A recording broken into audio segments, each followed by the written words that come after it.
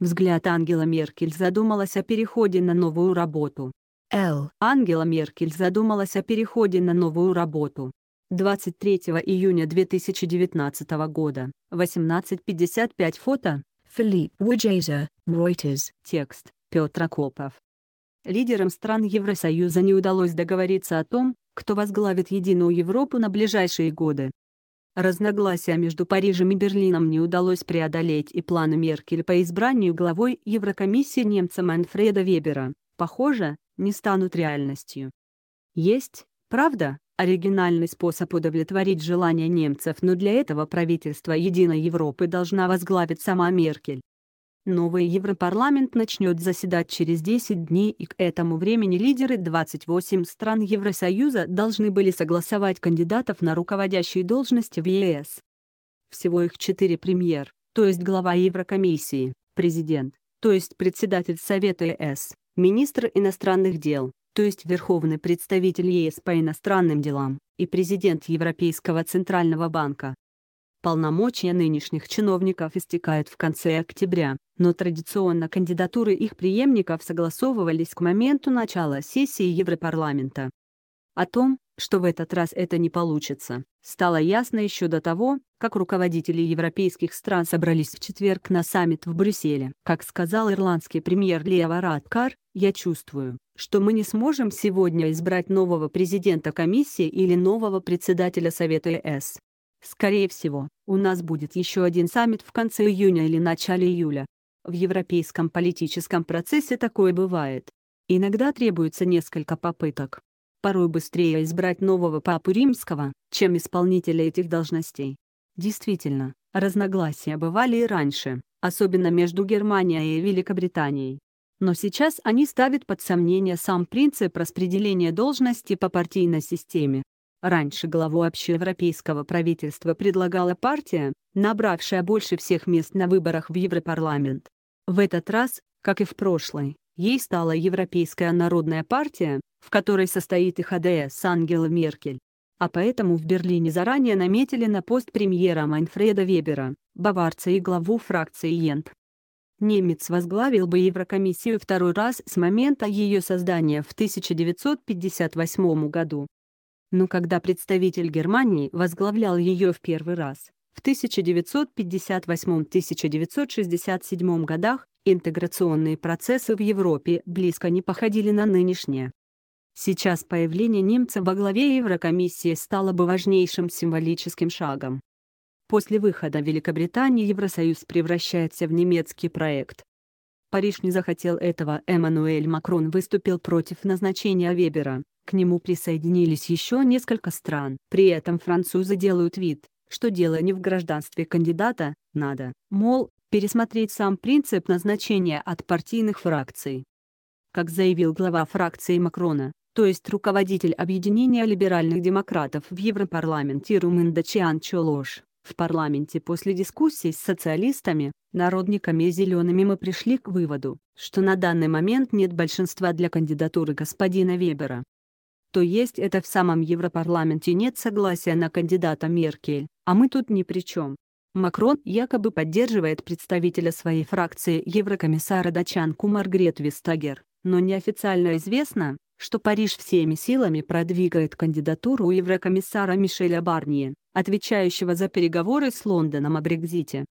Барние, кстати, тоже принадлежит к Европейской народной партии, то есть является однопартийцем Вебера. Так что хитрость Макрона шита белыми нитками. Тем не менее Макрон делает вид, что не против немцев. Кандидатуры рассматривались сегодня не по их национальной принадлежности. Я не имею ничего против немецкой кандидатуры. Если бы канцлер Меркель была кандидатом, я бы ее поддержал, потому что она обладает качествами и компетенциями, которые позволили бы ей быть хорошей главой ЕК. Так президент Франции прокомментировал срыв переговоров но Меркель не хочет переходить на общеевропейский уровень, и он уважает ее позицию, добавил Макрон. Тут возникает интересная развилка. Понятно, что Макрон лукавит и просто хочет протащить своего кандидата на пост премьера, или в крайнем случае не дать немцам провести их кандидатуру. Он не верит в то, что Меркель согласится поменять Берлин на Брюссель.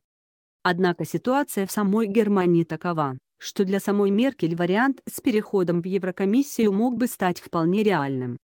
Понятно, что она хотела поставить Вебера через него в оставшиеся ей два года канцлерства проводить немецкие планы по усилению евроинтеграции. Но в итоге она может остаться и без своего человека на посту главы Еврокомиссии, и без канцлерства. Потому что шансы на то, что правящая в Берлине коалиция из ХДС, ХСС и СДПГ доживет до осени 2021 года, когда должны пройти очередные выборы в Бундестаг, представляются все более и более ничтожными. По-хорошему социал-демократам уже давно пора бежать от Меркель за время существования Большой коалиции, особенно после ее продления в 2017 году, они падают все ниже и ниже. Майские выборы в Европарламент стали моментом истины, СДПГ получила 15,8% на 11,4% меньше, чем за пять лет до этого. Все хуже выступает партия и на земельных выборах. В мае она потеряла традиционный для себя бремен. Все хуже ее позиции и вообще германских соцопросах. И если так пойдет и дальше, то в 2021 году СДПГ будет только мечтать о повторении своего результата 2017 о 20%, хотя и он был совершенно провальным.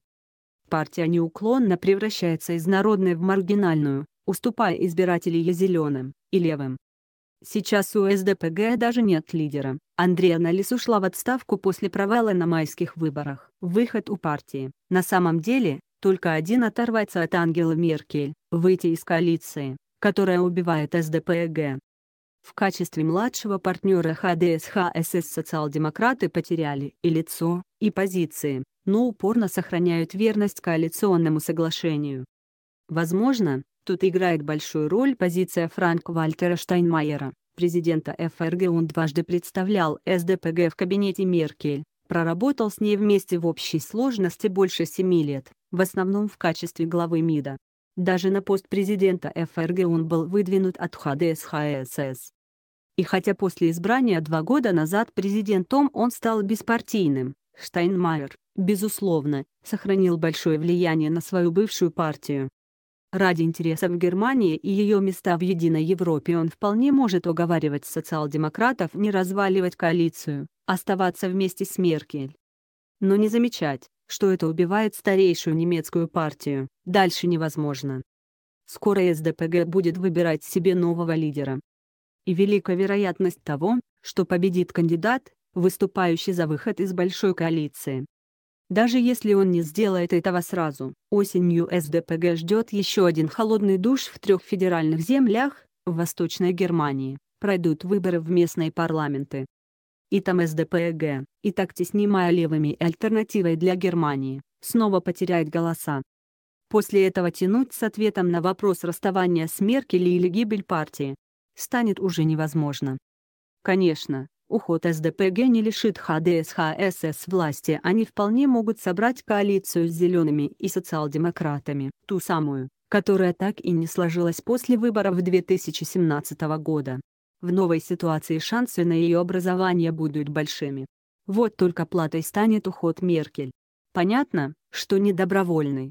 Просто одна, или даже обе, партии поставят это одним из условий своего вхождения в коалицию. Так что сейчас Ангеле Меркель есть повод серьезно подумать над лукавым предложением Макрона, поменяв кресло немецкого канцлера на место премьер-министра Единой Европы. Она не только сохранит себя в большой политике на ближайшие пять лет, но и гарантирует Германии контроль над Еврокомиссией. Альтернативой для Ангелы может стать ситуация, когда уже этой осенью она потеряет пост канцлера, так и не сумев провести своего кандидата в европейские премьеры. Текст Петр Акопов